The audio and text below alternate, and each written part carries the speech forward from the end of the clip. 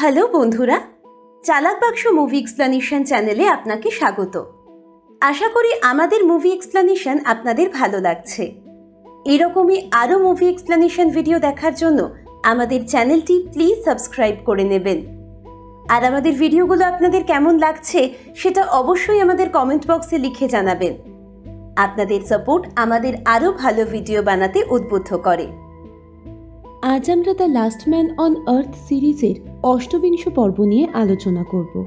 আগের পর্বের শেষে আমরা দেখতে পাই, কার্ল গাড়ি চালিয়ে একটা কবরস্থানে পৌঁছায় আর গাড়ি থেকে নেমে কবর থেকে মৃত মানুষের মাংস বের করে খেতে থাকে। দূর থেকে ট্যান্ডি আর টট এটা দেখে খুবই ঘেন্না পায় এবং ট্যান্ডি বমি করে দেয়।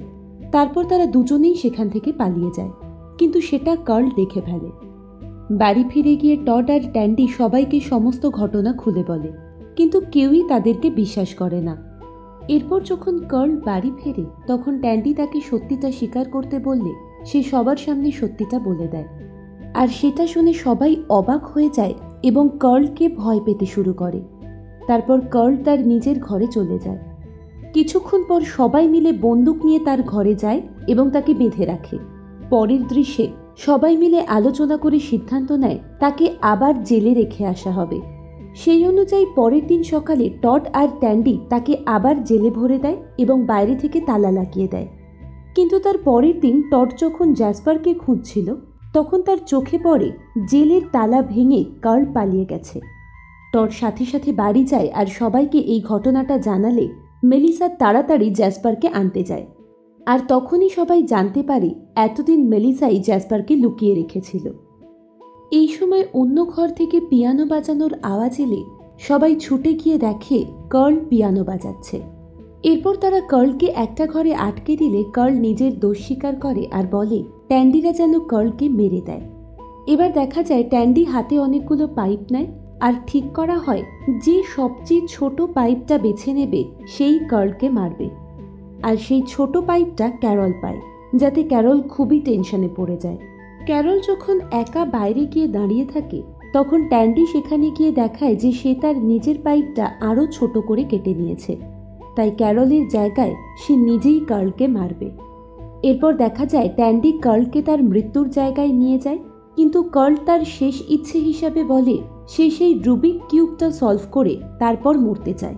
ট্যান্ডি সেটা মেনে নেয়, আর যেই সে ওই রুবিক কিউবটা সলভ করে, সাথে সাথেই সেটা ব্লাস্ট করে যায়। এবং কার্ল সেখানেই মারা যায়। এরপর সবাই মিলে কার্লকে শেষ বিদায় জানায়। অন্যদিকে রাতেই টড মেলিসাকে জেসপারের ব্যাপারে জিজ্ঞাসা করলে মেলিসা তাকে কিছু বলে না। তাতে টড খুবই রেগে যায় আর তাদের মধ্যে ঝগড়া শুরু হয়ে যায়। পরের দিন সকালে ট্যান্ডি কার্লের রক্ত পরিষ্কার করে আর সেটা দেখে সবাই তার প্রশংসা করে। এদিকে মেলিসা যখন জ্যাসপারের জন্য খাবার প্যাক করছিল তখন টড মেলিসার সাথে যেতে চাইলে মেলিসা বারণ করে দেয়। কিন্তু টড মেলিসার গাড়িতে লুকিয়ে জ্যাসপারের কাছে যায় এবং লুকিয়ে লুকিয়ে মেলিসা আর জ্যাসপারের কথা শুনতে থাকে। মেলিসা জ্যাসপারকে বলে, বাড়িতে সবাই তাকে খুবই মিস করছে, বিশেষ করে টড। সেটা শুনে টড খুবই খুশি এবং ইমোশনাল হয়ে যায় আর সেখান থেকে চলে যায়। আর মেলিসা জ্যাসপারের সাথে দেখা করে গাড়ির কাছে এসে টডকে দাঁড়িয়ে থাকতে দেখে রেগে যায়। কিন্তু টড ক্ষমা চেয়ে নেয় এবং তাদের ঝগড়া সেখানেই মিটে যায়। অন্যদিকে গেইল আর ট্যান্ডি গ্যাস ব্যালনের হিলিয়াম ইনটেক করে হাস্যকর আওয়াজে কথা বলছিল। তখনই গেইল ট্যান্ডির হাতের ওপর হাত রাখে আর ট্যান্ডি এতে একটু অন্যরকম ফিল করে এবং সেখান থেকে উঠে চলে যায়।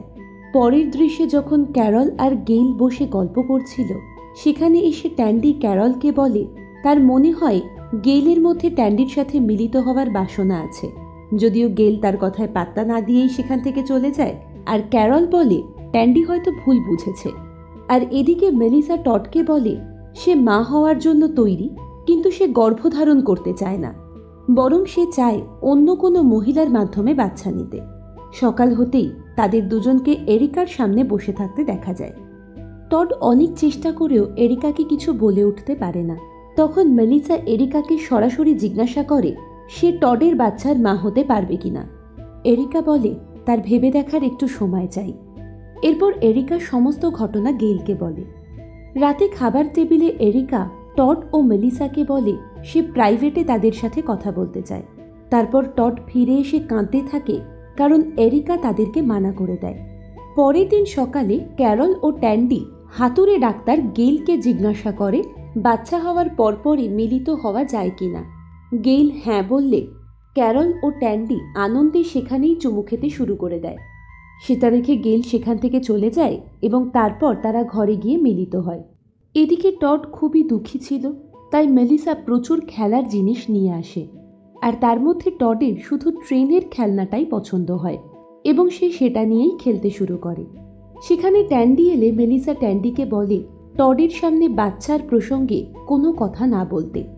এরপর অনেক মাস কেটে যায় আর তখনও টডকে সেই ট্রেনের সাথেই খেলতে দেখা যায়।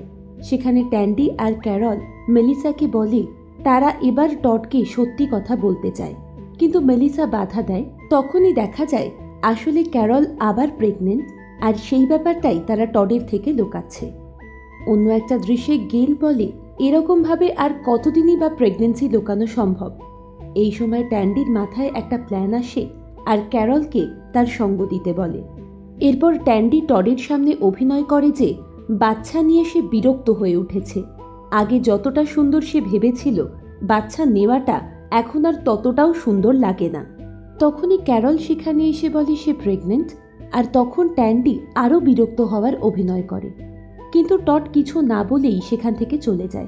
তারপর টট বাড়ি এসে তার সমস্ত খেলনা ভেঙে দেয়। The last man on earth সিরিজে এর পর কি হয় জানতে আমাদের চ্যানেলটি প্লিজ সাবস্ক্রাইব করে দেবেন। আমরা খুব তাড়াতাড়ি পরের এপিসোডগুলো আপলোড করে দেব। আর আমাদের ভিডিওগুলো আপনাদের কেমন লাগছে, সেটা অবশ্যই আমাদের কমেন্ট বক্সে লিখে জানাবেন। ভিডিওটি শেষ পর্যন্ত দেখার জন্য অনেক অনেক ধন্যবাদ।